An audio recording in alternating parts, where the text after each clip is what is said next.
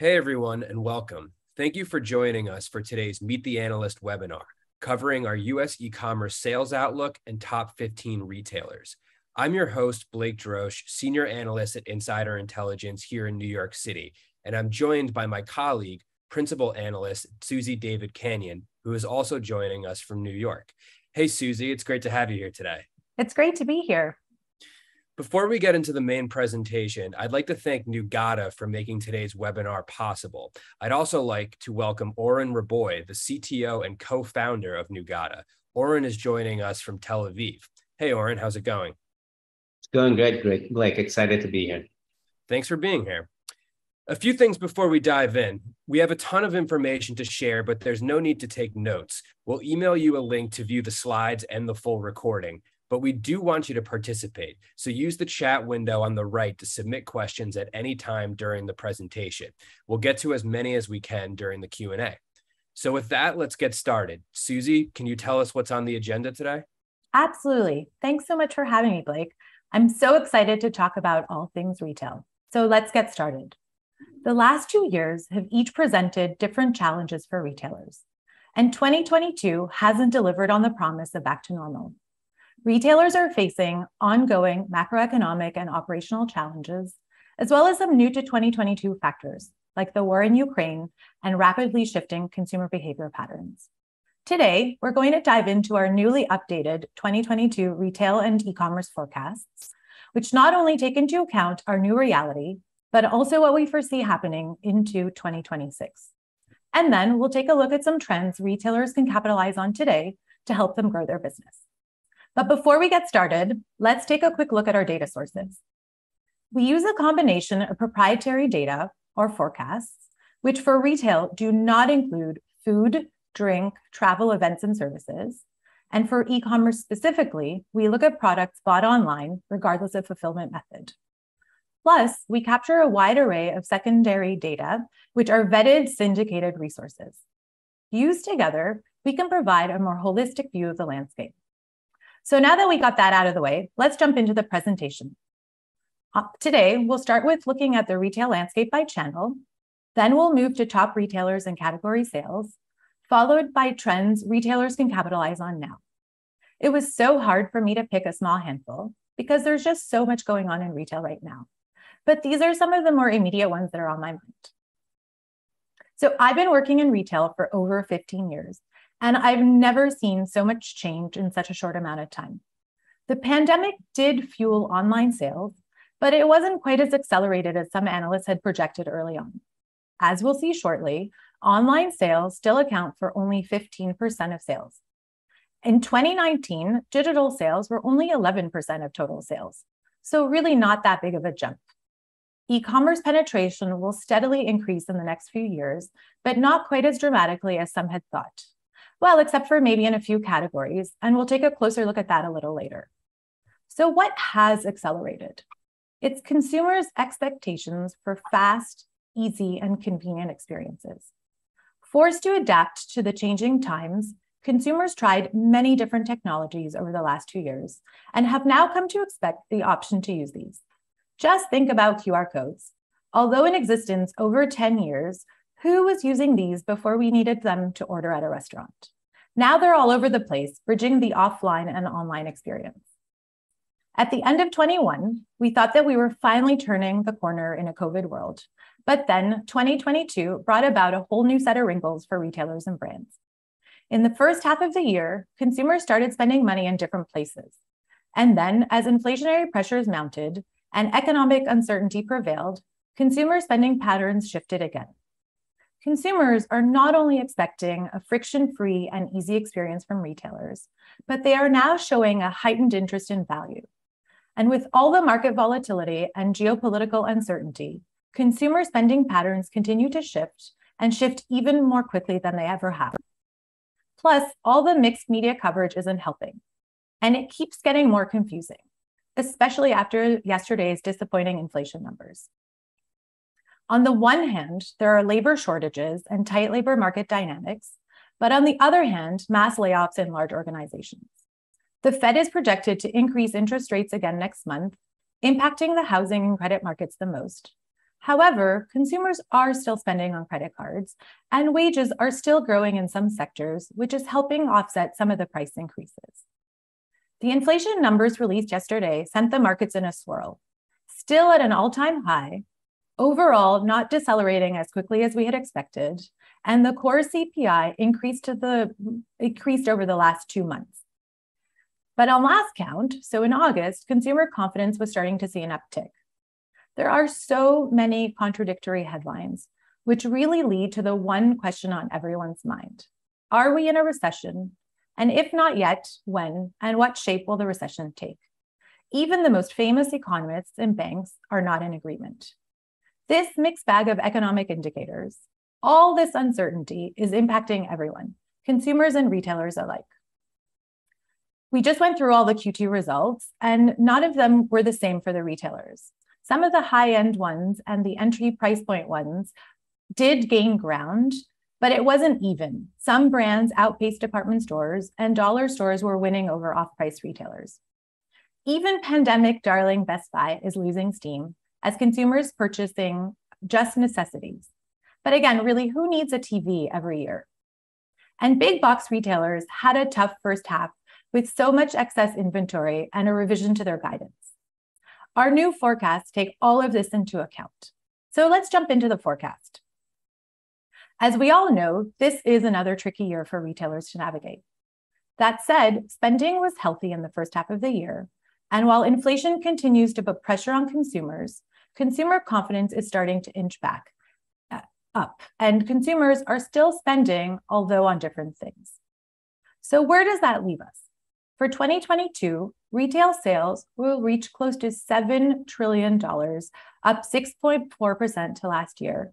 And that's off of huge comps from 21. We expect sales will growth will temper into 2023 and beyond, returning to pre-pandemic levels, hovering at the 3% mark. So let's take a look at growth rates by channel. As we'll see, it's been another banner year for in-store sales. Consumers continue to flock to stores and in fact, we revised our forecast upwards from our February numbers. If you focus on the gray trend line in the graph, you see another incredible year for in-store. Sales are, sales are expected to reach 5.9% this year, again off huge comps in 21. And then sales will start to flatten. And by 2026, we expect stores to be more or less flat at up 0.6%. When you look at the black line, the digital sales, they saw massive growth in 2020, thanks mostly to the lockdowns. And then there was a tapering off until next year, we'll, we'll start to see stronger growth again. So let's look at digital sales more closely. We're expecting, this is a big year for e-commerce. We're expecting e-commerce sales will cross the 1 trillion mark this year and make up about 15% of total retail sales. So to put that in perspective of the countries that we forecast in terms of penetration, the US comes in at number six with 15% penetration. China is number one with about 45% of their sales online. And the UK is number two with about 36% of their sales online. Here in the US, e commerce sales will continue to grow steadily. And we believe that by 2026, one in five dollars, or about 20%, will be spent online. So when we all think about online, most people think about m commerce and mobile apps. But did you know that the majority of e commerce sales in 2022, so that's 60.4%, or the red box and the stacked bar, are using a desktop or a laptop? And yes, there is a slight deceleration, but it's negligible with a projected 58.8% of sales on desktop by 2026. What isn't negligible, though, are tablet sales. They definitely had their heyday during the pandemic, and we're seeing their share of e commerce sales move really quickly down from 8% in 2020 to 3.3% in 2026. So that's the gray bar at the top of the chart. According to Kibo Commerce, Q1 2022 KPIs, desktop laptops have higher average order values and better conversion rates. So they're more volume and better for business. All that said, M commerce, of which the majority is smartphone commerce, has become a more important part of the shopping journey. We just did a study on which mobile app features consumers value most, And we saw that features which connect the often online shopping experience, like inventory availability at the store of your choice or price checking while in store, rank high in desirability. M-commerce sales, which are either in-app or this is important on the mobile website, are projected to grow more quickly than e-commerce and will make up 40% of sales next year. M-commerce sales will grow steadily to cross the 600 billion mark in just three short years, nearly doubling in five years from 2020 to 2025. Of course, a retail presentation wouldn't be complete without a closer look at social commerce. To say that social platforms have been in the news a lot these last few months would be an understatement. We're hearing about new platforms and brands dabbling in things like BeReal, platforms like BeReal, as well as more mature platforms like Instagram pulling back on some commerce functionalities. But that doesn't take away from the importance of social in retail. It's definitely a place for consumers to discover, be inspired, and get educated. Along the way, some consumers will even make a purchase. We're not going to see strong growth in social buyers, but we are going to see average sale per buyers increase from $520 in 2022 to $940, so almost $1,000 by 2025. That's a near doubling in three years. And yes, the volume is still pretty low for social commerce. It's going to reach $53 billion this year, but the, gro- but the growth rates are very encouraging. So which are the most preferred social platforms? Like with all media and marketing strategies, it's important to know your customer, who they are, and what how you can reach them so that you can be more effective. But it also does help to know where the sales are happening. So let's take a quick look. While Facebook is definitely slipping, in 2022, it's still 62% of social buyers that are making a purchase on Facebook. Yes, that is definitely down from 68% in 2019, and we'll see the number will continue to drop to 61% in by 2025. I'm looking at the red line in the graph here, but it's still 20 points higher than the next platform, which is Instagram. I think this graph really helps illustrate that big TikTok made me buy a craze of 2021, where we see that TikTok, the darker gray line, will over overtook Pinterest in 2021. And over the next few years, TikTok will narrow the gap with Instagram. So before we look at the retailer and category trends, let's take a quick look at TikTok sales. Whereas the chart before was telling us what percentage of social buyers buy in any of the platforms, so you could potentially be counted twice, once for purchasing something on Facebook and once for purchasing something on Instagram. Here we're looking at the number of TikTok buyers. So in 2022, there were nearly 24 million TikTok social buyers, and that represents roughly one in four TikTok users who also made a purchase using the platform. To show you just how important TikTok has become in the last two years, in 2020, that number was 6%. So 6% of TikTok users in 2020 were also social buyers on the platform.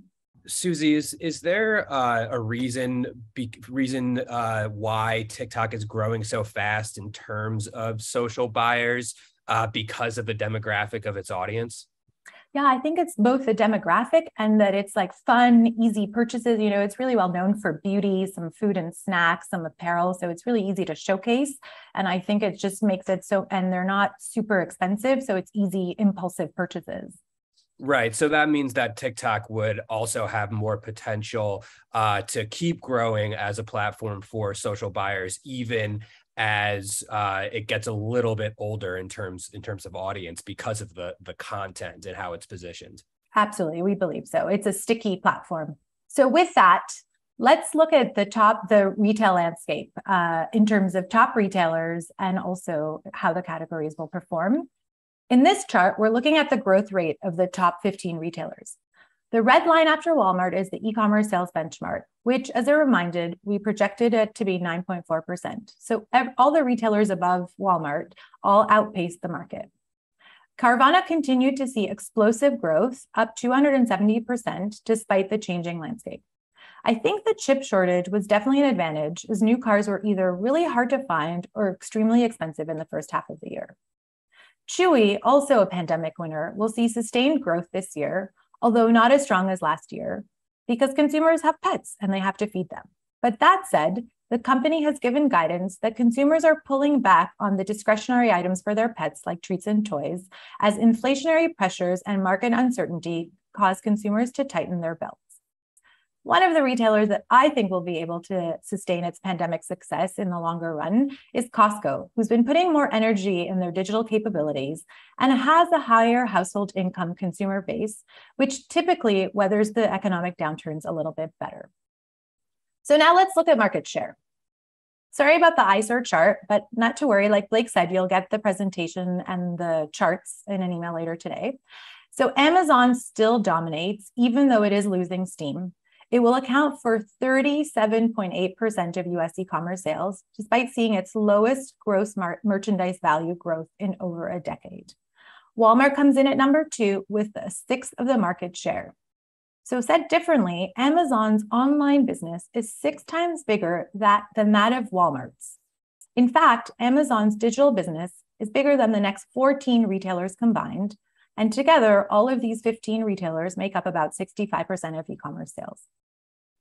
Of note is that Apple will leap ahead of eBay in e commerce sales for the first time and move up to rank number three. Before we move into categories, one more note regarding Amazon. Amazon dominates when it comes to search. 61% of US shoppers start their search when shopping online on Amazon. That's 12 percentage points higher than search engines and three times greater than Walmart's website.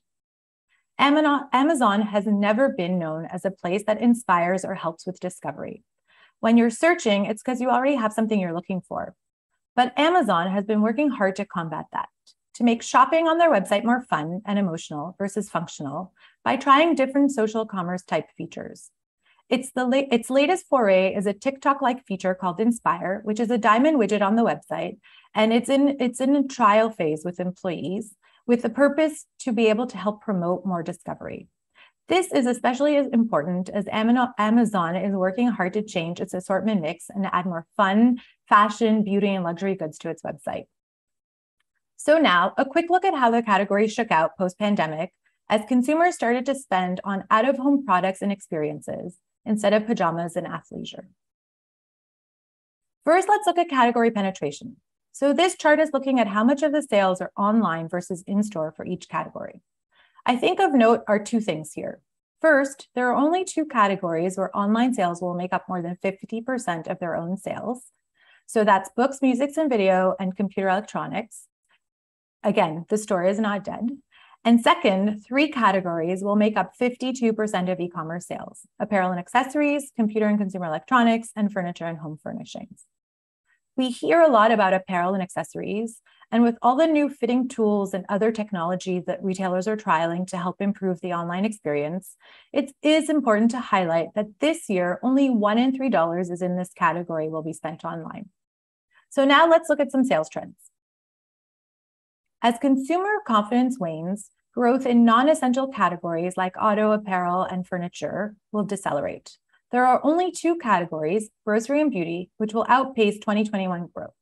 So let's take a quick look at those categories before we move into some current trends retailers and brands can capitalize on. So, first, digital grocery. Digital grocery continues to grow, and we anticipate it will grow 15.8% this year, reaching a little over $140 billion. The blue line represents its penetration, and as you can see, that's around 10% of sales. Everyone is talking about click and collect in all its different iterations. Our latest grocery forecast just published, and I know Blake, you're going to write a report about that. And that includes click and collect numbers. So, about a third of digital grocery sales will be fulfilled through click and collect this year. And grocery represents about 50% of click and collect sales. So, if you're a grocer and you don't offer click and collect, especially curbside pickup, you need to revisit this. It is now really table stakes, an expectation for consumers.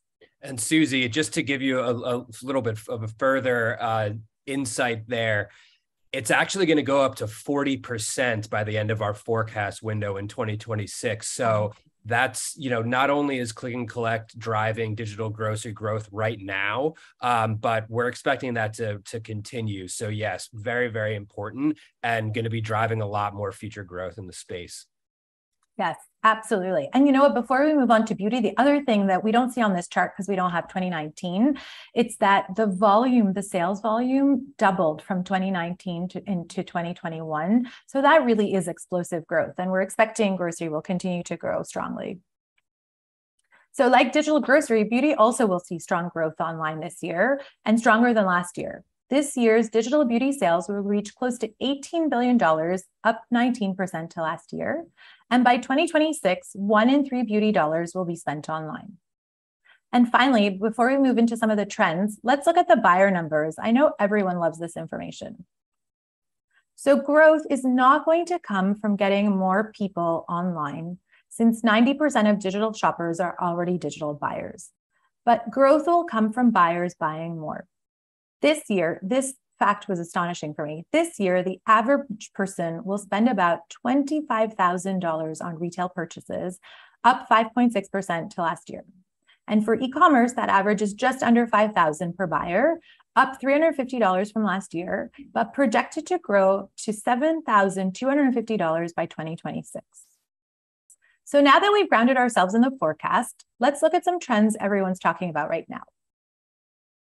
But before we get to the section, I think it's important to remind us and to reground us in that retail is all about convenience, speed, and reducing friction across the shopping journey.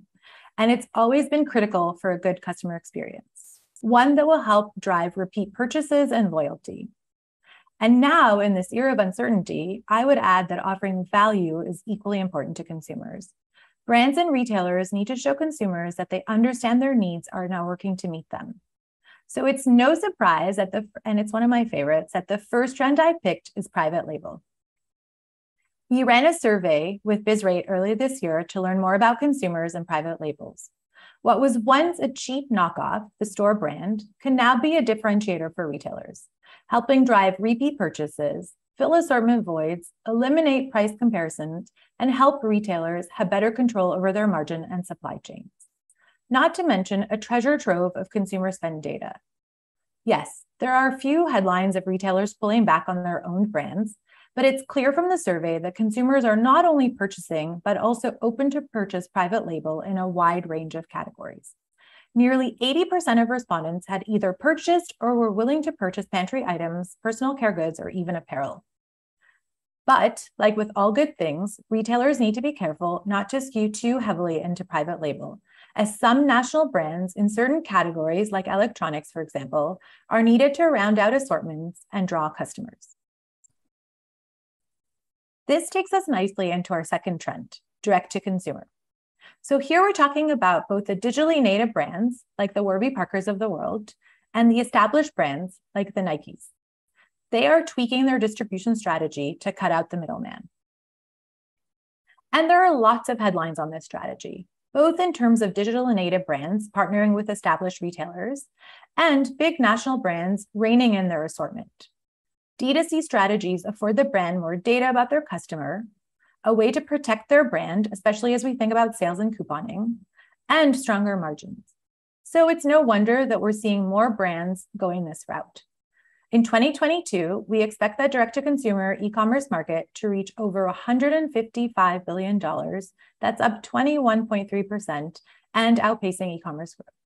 And we project that by 2024, sales will be over $200 billion. And that's more than double from 2020. And it's almost four times greater than 2018. So huge explosive growth. Our third trend is sustainability it's really on everyone's mind. And we're doing a lot of research about that here at Insider Intelligent. But there is some, there are some barriers to entry for consumers. And the number one barrier is that it's too expensive. One in two people find making more eco-friendly purchases expensive, which ties in nicely to my third trend, which is resale. Early this year, we published our inaugural resale forecast. And if you've been keeping track of the news, you know that pretty much every brand in every business is doing this now. Even footwear brand On just launched their Onward program. Today, there's a perfect set of circumstances that lead us to believe that sales will double in three years, going from 15 billion this year to 30 billion by 2025, and that's just for the online market. The two immediate factors being one, cash strapped consumers wanting to save money, all the while wearing brands they know and love, and two, consumers being more eco conscious. And it's not just the purchaser who feels like they're being eco friendly. According to a recent McKinsey study, nearly one in three consumers who resell their own items consider this their contribution to sustainability. And for a brand, it makes perfect sense for a variety of reasons, including having more control over their brand, the pricing, a new revenue stream, and new customer acquisition. According to Trove, which is one of the resale enablement platforms, 50% of resale purchasers are new to the brand. So let's switch gears completely. We talk a lot about some of the tech, and I just wanted to really touch briefly on AR VR, which is really important to brands.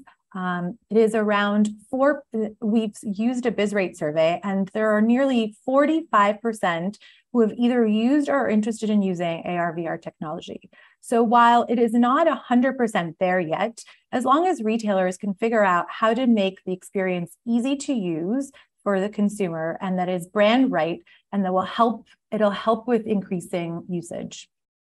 And from a retailer perspective, it'll help with decreasing uh, returns. Then also live stream shopping. It's something we talk a lot about in terms of social commerce. Live stream shopping, which is an extension of social, is like QVC on steroids. Everything is happening in the same space. And while interest in usage in live streaming is less than 50%, Klarna released their August Pulse survey, where they discovered that one in three US adults start shopping journey, starts their shopping journey on social. And that uh, 38% of people who've made a purchase of a product have done so after seeing it on social. So, as a brand, it's really important to have a social strategy, and hopefully, it'll lead to social commerce as well. And the final de- uh, trend for this deck, and of course, it wouldn't be 2022 if we didn't have something about the metaverse, is around uh, virtual goods. There are lots of brands trying it. And I think here the most important thing to think about is who is your audience? Uh, on a whole, it's pretty low in terms of interest in adoption. But when it comes to the 18 to 24 year olds, you see a big spike with nearly 50% having either purchased or interested in purchasing. So, like everything else we talk about, it's really critical to know who your audience is and how you can capture them so that you can deliver an authentic experience. So, with that, I would have talked about so many other things, but time is of the essence. So I'm going to just go right to the key takeaways. Uh, we covered a lot of things. And so while you're reading, I think there are three big takeaways. One, retailers should remember that the store is still critical. Two, market volatility continues and media coverage is becoming more confusing. It's really important to think about the consumer and how they're tightening their belts. And to drive loyalty, you really have to reach them where they are. And three, what we've learned from the last two years, and this I can't say enough, is that using last year to plan next year without an eye to what's happening in the world, without an eye to what's happening with consumer behavior, is detrimental as inventory piles up and consumers don't find the goods that they're actually looking for. So, with that, back to you, Blake. I'm excited to listen to your conversation with Oren. Thanks so much, Suzy. That was that was great. I mean, I think you know there's there's so many trends here that we've been discussing really since the onset of the pandemic, but 2022 has been such a disruptive year that there's really an entirely new lens that we need to look at these trends through. So it's really interesting to get all the updated data and, and insights from you. Uh, so thank you so much. Um, so before we get to your questions live uh, from Suzy's presentation, we're now joined here with uh, with Noogata's uh, Oren Raboy. Uh, Oren, thank you so much again for for being here. A pleasure. Um, so leveraging data analytics uh, is is really crucial for consumer brands, but we often hear about how this information is siloed across many different sources. Um, so, Oren, can you tell us what steps that brands can take to optimize these data initiatives?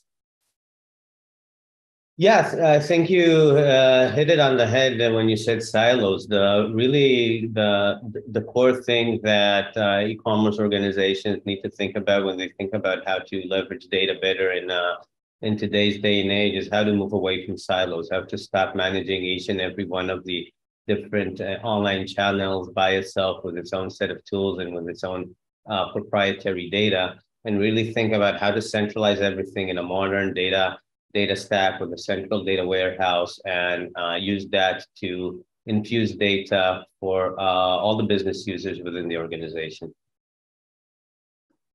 Great. Thanks so much. And what are uh, some use cases for e-commerce teams that invest in uh, a robust data analytics platform?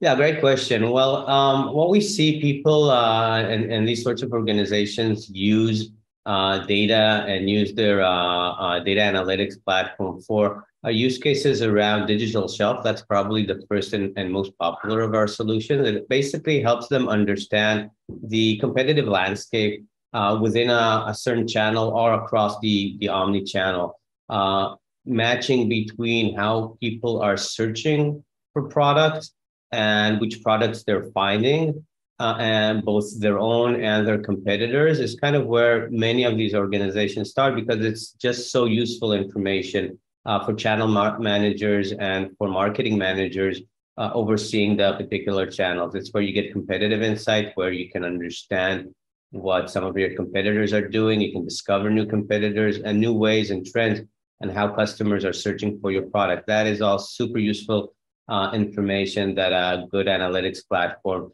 uh, can be used for, and it's a very popular use case as we're seeing it. Um, another really, really popular and useful use case is uh, what we call content recommendation, or how to build perfect content for your uh, portfolio uh, on any channel and on all channels, whether you're um, trying to optimize uh, the way your titles and descriptions and the metadata on your products appear and uh, on Amazon.com. So it more closely resembles how customers are searching for your products. Uh, that's uh, something that smart data analytics and smart um, machine learning used correctly can really help you, right? Generate and improve the, the way you're describing your products to match better how customers are searching for it and what some of your competitors are doing. Um, that's another use case we commonly see people use their analytics for within this context. Um, another really, really popular use case uh, is something that really consumer good companies have been doing um, forever, but it just has become so darn hard to do on for uh, digital and, and, e-commerce, which is uh, price packaging analysis. All right, you're trying to figure out, especially if you're selling uh, fast moving products how what is the right way to bundle them together uh, do you um, sell a five pack of your um, of your skincare product or should you do two packs uh, what is the right pricing and what is the sensitivity around that uh, there's a lot of information online but these um, sort of analyses are very very hard to do uh, because that data is hard to get by it's hard to organize and it's hard to make uh, uh, and turn it into analytics friendly data that you can use to run these sorts of analysis. And with um, a strong foundation there, you can really take all that data, use smart uh, AI to clean it up and really make it accessible for, uh, for further analytics. Thanks. Yeah, you know, I think that that ties so well back into Suzy's slides, looking at growth, uh, online e-commerce growth for sales of, of essential goods, the digital shelf, just getting so much more crowded and complex that positioning the content in order to stand out uh, is just getting so much more important. Um, so, Oren, how should uh, in-house data analysis work for a modern organization? is it still common practice to have a single data science or analytics team that's feeding information to the rest of the organization? Mm, that's a that's a really great uh, great question. Like um, this is actually changing uh, a lot, and especially we've seen uh, I think tremendous progress uh, just in the last uh, two or three years, where a lot of the fundamental uh, data science required to run these sorts of analysis have been um, I wouldn't say commoditized, but have been made much more accessible to users outside the realm of data science. Um, so, you know, a few years ago, to do anything of the use cases that we just described, you would essentially have to build everything in house, starting from how do you collect the data, how do you build the different uh, machine learning uh, models and networks in order to produce it, and how do you scale up and uh, and maintain pipelines to to drive that data and keep it uh, fresh and uh, and, and current. Uh, but today there's a, growing number, and Noogata is a, is a really great example of that. There's a growing number of, of different solutions that help you do that without the need to develop it all in-house for the common use cases. And so the pattern that we're seeing emerge is that you definitely uh, need and want to have an internal data organization and data science organization. And really, every organization wants to have that, but they really want to focus there on the proprietary challenges and the unique uh, aspects that they have on their business and try to leverage as much as they can from off the shelf tools, whether it's pre made models that they can easily apply on their data or engineering tools to help them move, move data around from, from, uh, from point to point.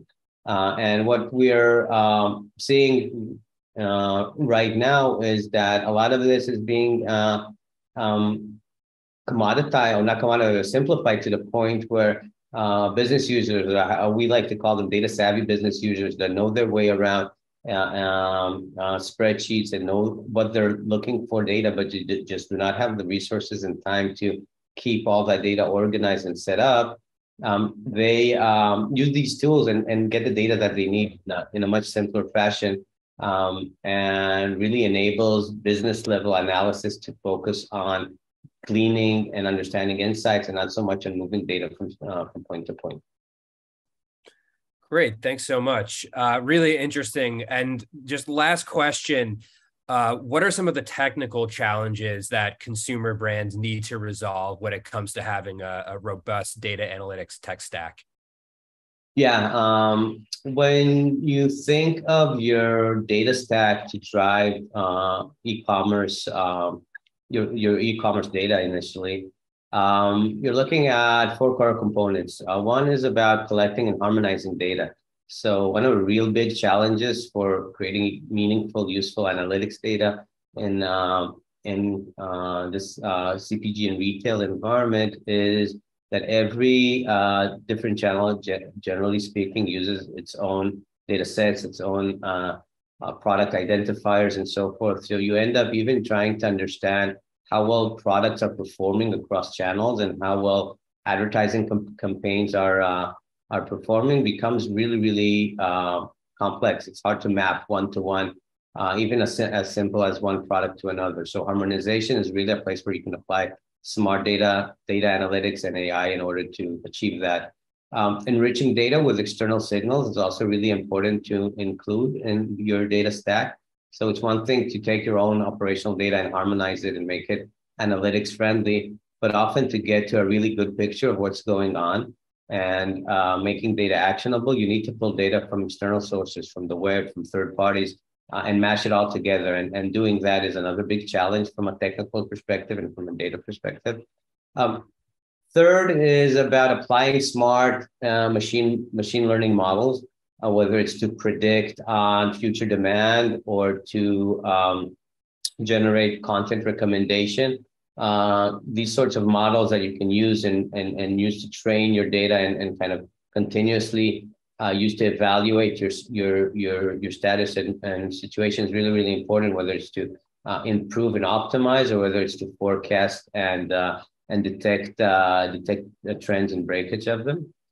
Uh, and last but not least is how do you build it all together and turn it into something meaningful and actionable for your actual business consumers, the ones that will actually be using the data. So a lot of this goes also into figuring out what's the right way to visualize the data and, and how to package it into actionable dashboards or actionable reports that the actual business users can use on a day-to-day basis. Great. Thanks so much, Oren. Really appreciate it. Um, Oren's going to stick around for the Q and A, uh, which we're moving into right now. Uh, we've received uh, a lot of great questions. And uh, one that actually just came in, um, Suzy.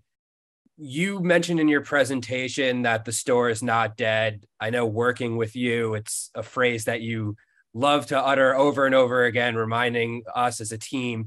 Um, are there any thoughts that you have about digitally native brands that are opening retail locations? It's obviously a trend that goes back, um, but as e-commerce matures even more and we see that penetration number inching up uh, is that still going to be a trend that we see in the coming years Yes, absolutely. And I think, you know, it's that there's like two tensions sort of in terms of the trends, right? There are brands that are trying to go at it alone and go directly to the consumer. And then there are the original direct to consumer brands, what we're calling digitally native brands, that are now trying to use a middleman or go or do stores, right? And I think part of it is that cost of acquisition of a new customer is so so hard. And in fact we talk about this on the podcast uh, for friday's podcast. There is a surprise in that podcast by the way. Uh, it's the weekly listen with the game. Um, but anyways back to the question. So what I would say is n- not not only do I think digitally native brands are going to be opening more retail locations and we're seeing that happen, I think they're going to look for creative ways to partner with bigger bigger retailers and bigger retail operations that already have put in the capital into building out the stores where they can do more pop-ups and sort of exp- experiment experiential sort of ex- uh, spaces within either a department store or a big box retailer. So it really cuts the cost and it allows them to have access to a whole whole new group of consumers that they never would. And uh, for example, Peloton is now selling on Amazon, not not exactly retail location, but it's the same idea around working with a middleman. Great, thanks so much. Um, and then another question that just came in: uh, What about luxury goods? I think you know as uh, economic uncertainty continues. Different, uh, you know, demographics are certainly impacted more than others, which in turn impacts different businesses. Um, are there any insights that you have uh, in terms of how you know the luxury goods sector is doing as a whole, and and how they might fare uh, if uh, economic uncertainty sort of continues into the coming months? Yeah, absolutely. We just we just uh, I think today published a report on luxury goods. So we're still seeing this bifurcation. And I think it just depends on how we define luxury goods. If you're talking about the super high end luxury goods, the Louis Vuittons of the world, right now they're fine. It's the aspirational luxury where it's that sort of middle household income consumer that is feeling a little bit stretched with inflationary pressures. And although the price of gas is coming down and it's predicted to come down to at least under $3 relatively quickly, it's still pressure for the consumer. So that aspirational luxury brand is feeling a little bit more pressure than the high end luxury groups. However, after the market tumbling, I think high end consumers and high high wealth uh, households are not as worried about the price of gas or a little bit of uh, increases in price of food. But when the market starts to tank, that's when they start to pull back. So I think that if we continue to see the market uh, in disarray, there is a chance that the growth that luxury goods have been seeing for the last few years will start to taper. And this this next question, uh, and it, it kind of you know flips the previous question on its head. Um, we're seeing that you know people are still planning on spending on things like Halloween, um, even in the midst of of economic uncertainty. Why are people spending? Uh, despite the fact that the cost of their everyday essentials, especially food and beverage, continues to grow. You know, that this is one of my favorite questions uh, around just gift giving occasions. And when times are tough, people try to band together and look for small things to celebrate and to bring joy and delight, whether it's to their kids or to their families or their friends. I think what we're seeing now, it's Halloween spending is pulling forward because both retailers bought their inventory too early because they weren't sure what was going to happen with supply chains and consumers have started hoarding because they just don't know what to do. You know it's like behavior that we have learned throughout the pandemic and that we're continuing to do. For halloween specifically i think you know it's a no-brainer. Candy is not super expensive. You can have a fun night uh, the world is sort of half falling apart. And so, if you can just bring a moment of joy, it's what economists call the lipstick effect. It's why we see some small luxuries that do keep uh, their sales volume high and see strength in sales when times are tough. Thanks. Um, and Oren, this next question is for you if you want to hop in. Um, we kicked off the q&a talking about d2cs um, from a from a data analytics point of view uh, for d2c brands that are unsure of how a, a, data and analytics stack could help improve their revenue what are some things that they should be looking at? Um, so the, the, the things to look at when you when uh, when looking at d2c is really around how are you uh, attracting uh, company uh, consumers from the top of the funnel all the way into into the uh, into the into the store. So it's a, a lot of it is about how do you uh, again harmonize and connect the dots between what's going on on your different advertising platforms and what's going on on the site itself. Uh, just so that you know how to where where come where where do where and what sort of campaigns to attribute incoming traffic so you can optimize accordingly. Uh, so that's typically where you would start.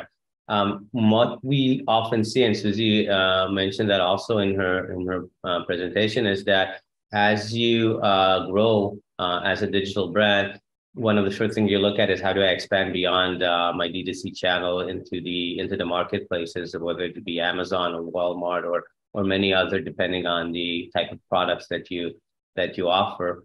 And there, the harmonization challenge challenges become even even tougher, right? How do you correctly route traffic, so to speak, between your Google campaigns into your D2C shop? Uh, how do you treat advertising spend across uh, the in market advertising platforms and Amazon and Walmart? Uh, and uh, what you're doing on Google and, and Facebook and, and, and, all of the others.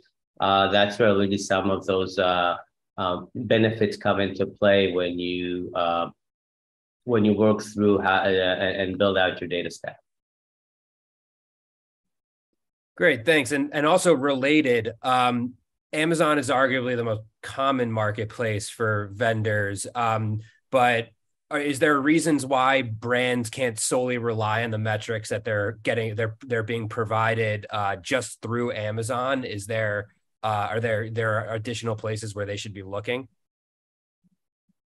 Um, definitely, I think uh, every one of your uh, every one of the places where you sign up for every channel there's data that is available in that silo but um, once again the, the real value comes into play and you can really start optimizing and, and, and growing and using data to, to to to fuel that growth when you look at things across the different channels and kind of harmonize and collect all the data together and and Amazon data is is, is you know, obviously squarely focused on what's going on in the Amazon platform. So that's one reason. Uh, the other reason is that um, at the end of the day, Amazon makes uh, a lot of data accessible and available, but uh, often, um, I mean, data in itself is not of, of, of, real, of real value, right? It's the insights. Uh, it's only as good as the insights that you can glean out of it. And in many cases, this data is very, very noisy. Um, so, um, and, and, very hard to uh, fully leverage without using pretty sophisticated analytics uh, techniques that you can only achieve once you kind of uh, build out your your stack. So being able to apply uh, machine learning models to predict future traffic demand is something that Amazon doesn't offer. It gives you all the data. You can build something like that if you uh, if, if, if you have the skills and the and the time, but but often that's you know it's usually outside the domain of what you can achieve uh, with your uh, analytics resource as uh, as an as an e-commerce brand. Um, but you should definitely try to look at how how to incorporate that, and that goes well beyond what Amazon has uh, available in in kind of its seller and advertising platforms. Great, thanks so much. Um, Suzy, what are some app features that could help smartphone commerce become a bigger portion of e-commerce? I know you put out a benchmark report on this earlier in the year, so it's teed up nicely for you. Totally. Well, and I think it's an interesting question, right? Because it's not what makes consumers use apps more it's how can we get consumers to buy more on apps? And what we found in our research is actually consumers use the app to facilitate their shopping journey and they tag, they they go, they toggle between in real life and online as they're doing their shopping. So I think if you wanted to make a, a bigger portion of your e-commerce sales, your app, it would be really about facilitating the payment. The digital wallet is really critical. Uh, things like scanning gift cards into your mobile wallet, which is a very valued feature, but not offered by many retailers, although they have the technology because you can do scanning uh, of pictures and price checking. So I think uh, ensuring that your mobile wallet is really strong and ensuring that your imagery on your mobile app are really easy for the customer to understand because you know we already know that they're buying basics and replenishment items on mobile apps but they're not necessarily buying fashion because i think it's hard to see on the small screen. So figuring out how you can make your product information easier for them on the app will also help with increasing e-commerce. It's really all about how do you make it easy for the consumer to understand what they're buying and easy to discover. Sometimes filtering is really hard on the small screen so just making it as easy as you can so that there's less friction so that the consumer is then more apt to purchase versus just use for discovery. Great, thanks. And we've got time for one more question. So I want to wrap it up uh, by looking into, I'm sure, you know, what's on everybody's mind. Uh, this is the holiday season. Uh, as a marketer, what should we be thinking about to ensure that we have a successful holiday? What are we anticipating? What are we already seeing? and how should we think about reacting to it?